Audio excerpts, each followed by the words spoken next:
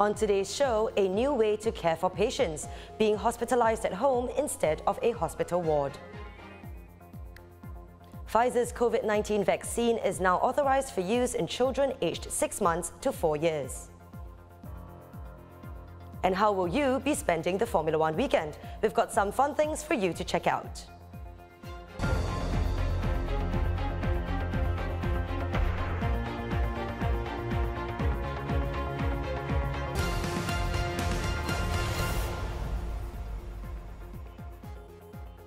It's Thursday, September 29th, and you're watching The Big Story with me, Chao Suen.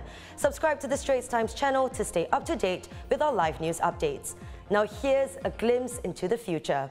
Imagine suffering from a skin infection and being able to be hospitalized in the comfort of your own home instead of a hospital ward. There are now pilots underway on these so-called virtual wards. And as my colleague Kimberly Zhao reports, they're already bringing a number of benefits to patients. You've heard of remote meetings and interviews, but what about hospitalization? As part of a new Ministry of Health endorsed virtual hospital wards pilot, the Mobile Inpatient Care at Home, or MIC at Home, program allows patients to receive care while staying at home. Patients uh, get into the MIC at home program.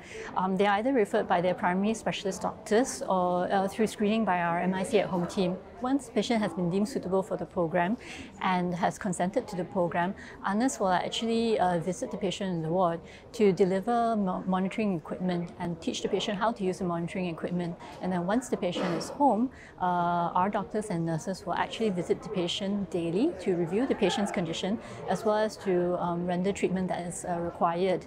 And this could be done through physical home visits. It could be done through um, teleconsultations such as video consultation as well as remote vital signs monitoring. Once the patient uh, has completed his uh, treatment and has recovered, our team will uh, physically assess the patient to ensure that the patient is uh, fit for discharge and then the discharge medications and documents will be sent to the patient's home. Suitable patients include those with general medical conditions such as skin infections, urinary tract infections, or even COVID-19. I think I was on three-day treatment under the home care program. There's totally no challenges at home because you are not restricted to anything except you are not allowed to leave the house. The feel is totally different between home treatments and hospital treatments. The pilot is set to end in March 2024, following which the data will be analysed and the Health Ministry will decide if the pilot is to be mainstreamed. So based on our pilots, uh, we saw about 20% savings uh, in terms of gross hospitalization bill, and this is something that we will validate and try to reproduce uh, under the sandbox uh, with the uh, set parameters. The acute bed demands are ever increasing. With this demand, the conventional solution is that we can build more hospitals and we can build more healthcare facilities. Then therein lies the question of whether or not we can have an alternative to this conventional solution of building new hospitals.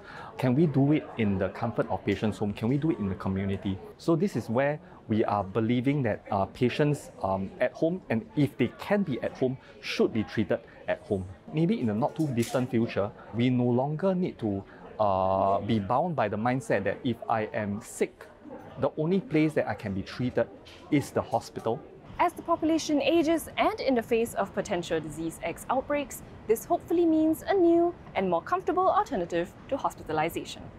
Kimberly Jiao for the Straits Times. In other medical news, the Health Sciences Authority has authorized Pfizer's Comirnaty COVID-19 vaccine for use in children aged 6 months to 4 years. The vaccination regimen for the primary series in this age group consists of three doses, the first two doses to be administered three weeks apart, and the third to be administered at least eight weeks after the second dose. This is the second vaccine authorized for use here in children in this age group, the first being Moderna's Spikevax vaccine. And the wait is finally over. From October 13th, you can visit Taiwan without serving quarantine upon arrival. With more than 99% of COVID-19 cases showing no or only mild symptoms, the government has relaxed restrictions in its new Taiwan model. Arrivals will still need to monitor their health for a seven-day period and take rapid COVID-19 tests. Taiwan is one of the last few places in Asia to have largely maintained its border controls, although in June it cut the number of quarantine days for arrivals to three. Meanwhile, Japan had also earlier announced that it will resume visa-free travel and allow individual tourists to enter the country from October 11th. Joining us now is ST correspondent Yip Wai Thanks for joining us today, Wai So Taiwan had kept some of its entry and quarantine rules in place, even as large parts of the rest of Asia relaxed or lifted theirs completely. So why is Taiwan relaxing their rules now? What are some pressures that they are facing?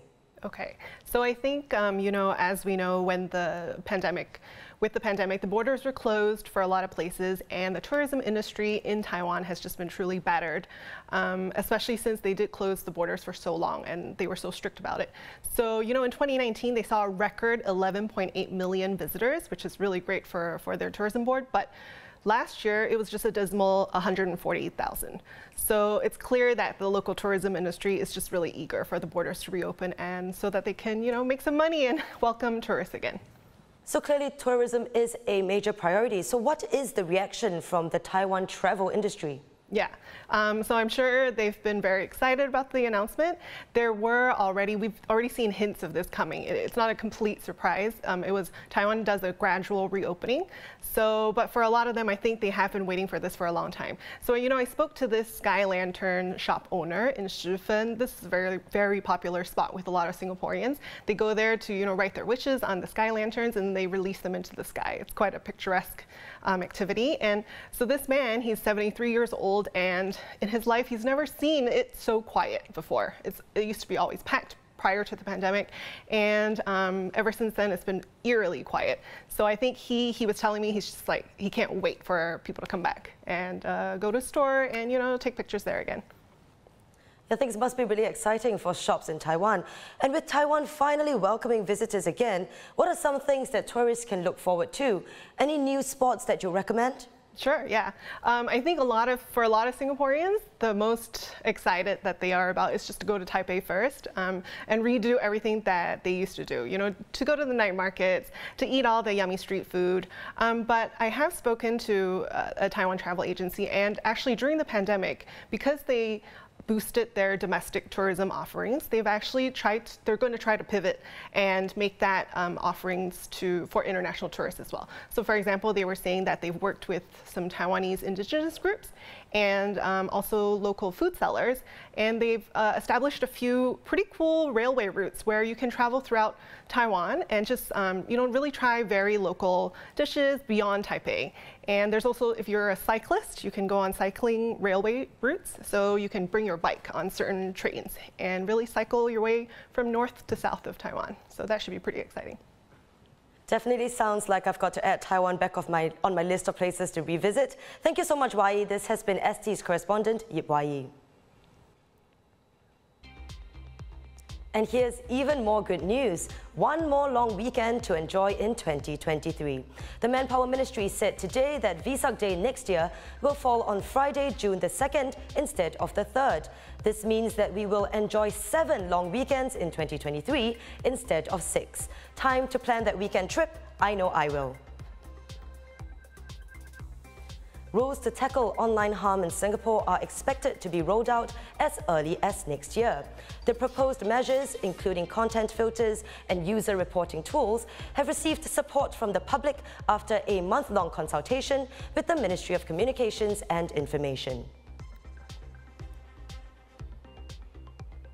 Shares of SATS have plunged 20% a day after the ground handling and catering provider announced it's buying the world's biggest air cargo handler, WFS. Investors don't like that the deal will be partially financed with a $1.7 billion equity fundraising. And the latest on the saga involving the couple who were allegedly linked to a $32 million luxury goods scam.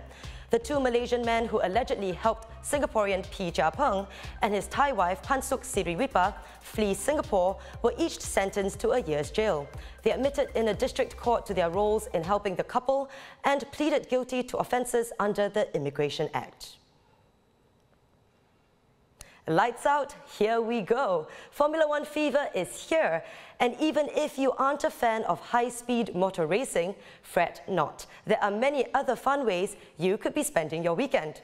You can catch one of the many musical acts at the Singapore Grand Prix concert at the F1 Circuit Park. There is something for everyone, with more than 75 performances with acts such as Marshmello, Westlife and Green Day all featuring on the bill. I, for one, am looking forward to seeing Green Day. And for Formula One fans who don't just want to attend the race, there are also various Formula One related pop-ups along Orchard Road.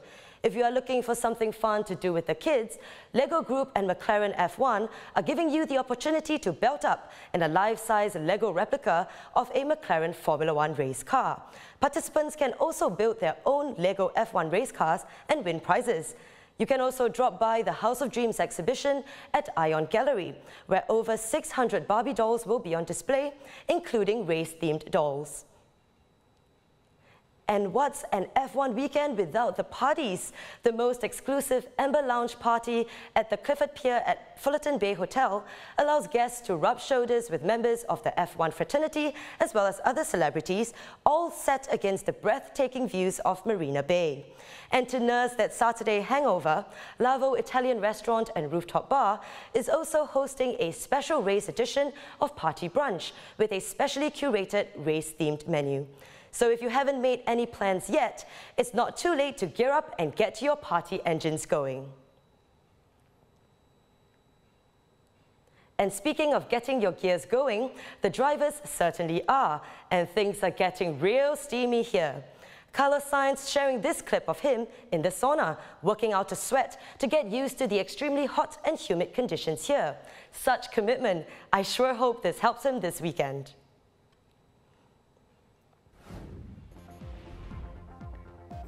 And those are our top stories. Visit straitstimes.com for more news and our YouTube channel for more videos. Subscribe by hitting the red button below. I'm Chao Suan, and I'll see you tomorrow on The Big Story.